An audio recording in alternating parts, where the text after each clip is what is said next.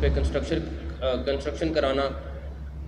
میں ذاتی طور پہ ملک صاحب کا اور صابر صاحب کا، جو ڈی ایم پولیس فاؤنڈیشن کے ان دونوں کا شکریہ ادا کرتا ہوں کہ جنہوں نے اس چیز کو ناممکن کو ممکن بنایا۔ ان شاء اللہ تعالیٰ ہم اسلام آباد کی سیف سٹی اتھارٹی بھی بنانے جا رہے ہیں۔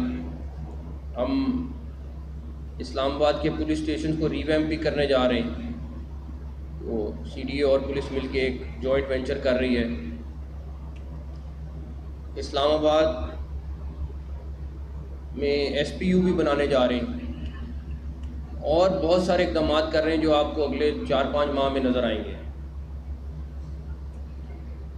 لیکن سب سے امپورٹنٹ یہ ہے کہ اسلام آباد کی جو پولیس ہے، اس کا جو رویہ ہے پبلک کے ساتھ وہ ہمیں تبدیل کرنا ہے۔ وہ تبدیل ہو جائے گا تو سب کچھ ٹھیک ہو جائے گا۔ ہمیں بالکل فیسلٹیز اور سب کچھ دینی ہے اور ان شاء اللہ تعالیٰ وہ اویلیبل بھی کریں گے۔ لیکن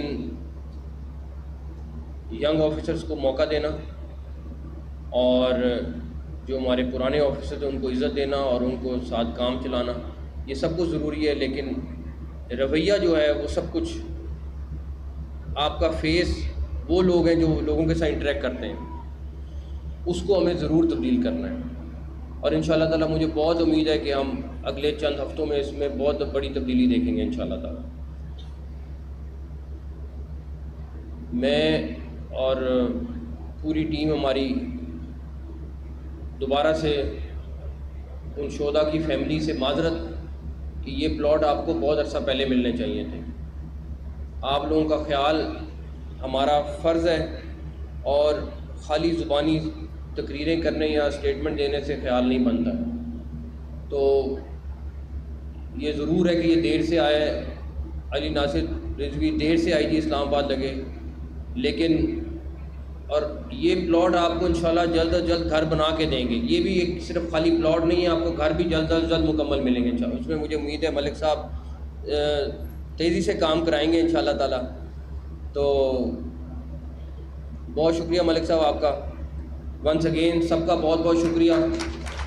اور میں اسلام آباد پولیس سے بہت زیادہ پر امید ہوں کہ یہ کافی بڑی تبدیلی آئے گی ان شاء اللہ تعالیٰ۔ اور ہمیں یہ تبدیلی کر کے دکھانی ہے۔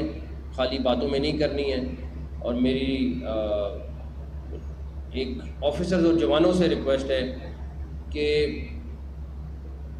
اسلام آباد پولیس کو ہمیں وہ اگزامپل بنانا ہے پورے پاکستان کے لیے کہ وہ لوگ دیکھیں اور اس کی مثال دیں۔ اور یہ کوئی زیادہ لمبا مشکل کام نہیں ہے۔ اور مجھے بہت امید ہے آپ سب سے کہ آپ لوگ یہ کر دکھائیں گے انشاءاللہ۔ تھینک یو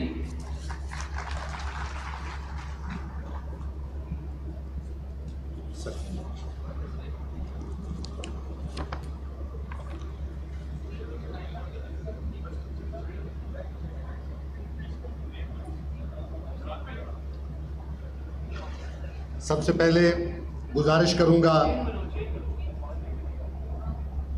شہید کانسٹیبل طارق عزیز کے والد جناب عزیز الرحمان صاحب۔ کا اظہار کیا ہے۔ ایران